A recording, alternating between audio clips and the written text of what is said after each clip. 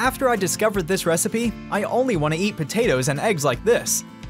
Let's start our recipe by cutting two potatoes like this into very small pieces. Tell me which breakfast recipe you have already made in your house. I would love to know your recipes.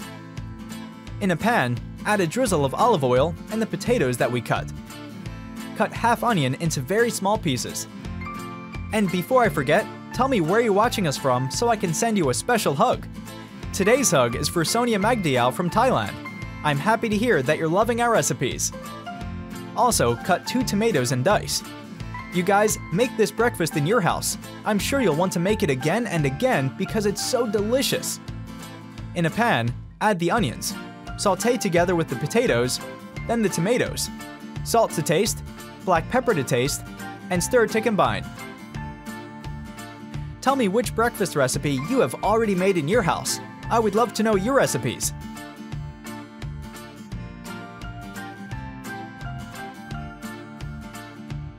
You guys, make this breakfast in your house. I'm sure you'll want to make it again and again because it's so delicious.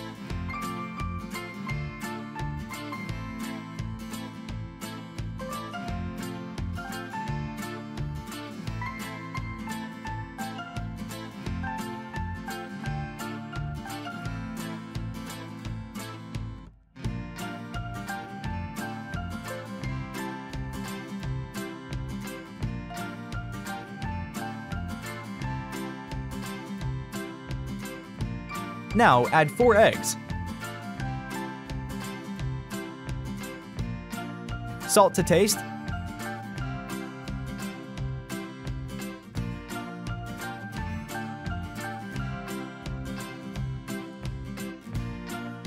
Parsley to taste, and let it cook for 2 to 3 minutes or until the egg is well cooked.